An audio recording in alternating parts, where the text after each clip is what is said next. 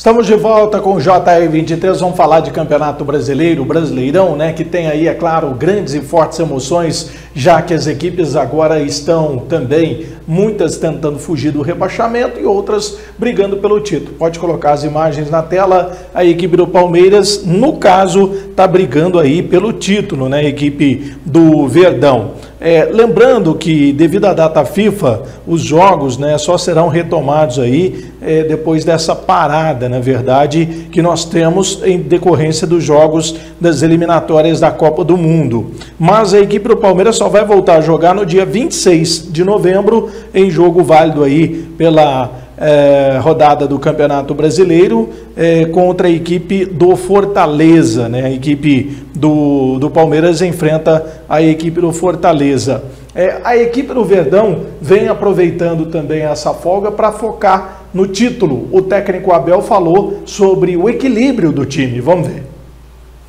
O que mais me orgulha nesta equipa, apesar de quererem rotular esta equipa isto, é que nós fazemos ou tentamos fazer bem tudo. Tentamos ser uma equipa, uma, uma palavra que define este grupo, esta equipa é equilíbrio. Equilíbrio quando ganhamos, equilíbrio quando perdemos, equilíbrio quando estamos a atacar, equilíbrio quando estamos a defender. É a palavra que eu definiria para definir o que alguns chamam de terceira academia do, do Palmeiras.